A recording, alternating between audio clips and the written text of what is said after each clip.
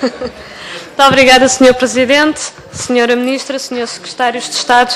Nós tivemos atentamente a ouvi-la sobre as questões que lhe foram, as respostas às questões que lhe foram colocadas sobre os recursos humanos, mas, Sra. Ministra, lamento dizer, mas não nos convenceu nem respondeu àquilo que foram as preocupações colocadas pelo Partido Comunista Português.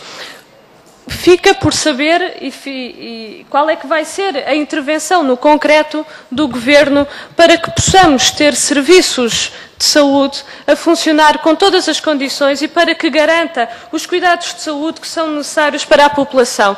A falta de médicos, a falta de enfermeiros, a falta de técnicos administrativos auxiliares, ou seja, são várias carências ao nível de recursos humanos. Já foi referida aqui a importância que têm os recursos humanos no Serviço Nacional de Saúde e a verdade, a verdade é que medidas concretas para resolver e para colocar estas questões em cima da mesa não foram referidas pela Senhora Ministra. Aliás, o que temos são cortes e limitações na contratação de pessoal para o Serviço Nacional de Saúde. Relembrar ainda que há um conjunto de profissionais a trabalhar sem condições de trabalho, em situações de precariedade e que efetivamente não contribuem de uma forma positiva para aumentar esta qualidade e eficácia que se pretende do Serviço Nacional de Saúde. Penso que esta, de facto, é uma questão central hoje que estamos a discutir e que merecia, por parte da Senhora Ministra, uma resposta mais concreta sobre que medidas é que vão efetivamente ser tomadas neste sentido.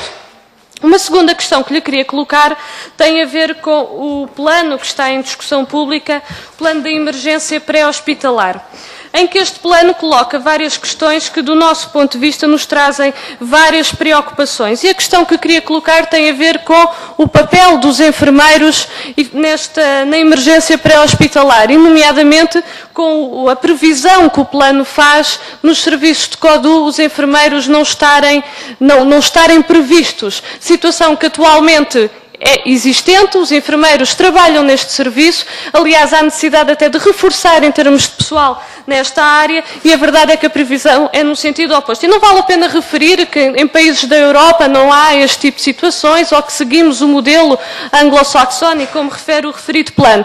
É importante referir, avaliar em Portugal qual é que tem sido esse desempenho e qual é que é a importância do papel destes profissionais de saúde neste serviço. Eu relembro até que em negociações e veio a público um conjunto de notícias e de reivindicações por parte do Sindicato dos Enfermeiros e o Governo até voltou atrás e alargou o prazo para que os enfermeiros continuassem a trabalhar neste serviço. Terceira questão sobre o medicamento. Senhora Ministra, a Senhora Ministra referiu que não pode impor por decreto-lei que os médicos procedam a uma prescrição por, por princípio ativo. Mas pode, por decreto-lei, colocar os utentes, os doentes, as populações a pagar mais ao nível, de, ao nível, dos medicamentos. Isto é que não é compreensível. É sempre o parente pobre, é sempre o utente que acaba por ser o mais penalizado em vez de efetivamente tomar medidas que medidas que não transfiram para os utentes e para os doentes o custo que tem tratamento da saúde. Penso que não é preciso referir, estamos a falar de um direito e que deve ser garantido a todos. E com estas medidas que a Senhora Ministra e que o seu Governo está a implementar, o que nós estamos a colocar é que haja um conjunto de doentes por dificuldades socioeconómicas acabem por abandonar os seus tratamentos porque não têm possibilidade para fazer face aos custos que lhes estão a ser imputados.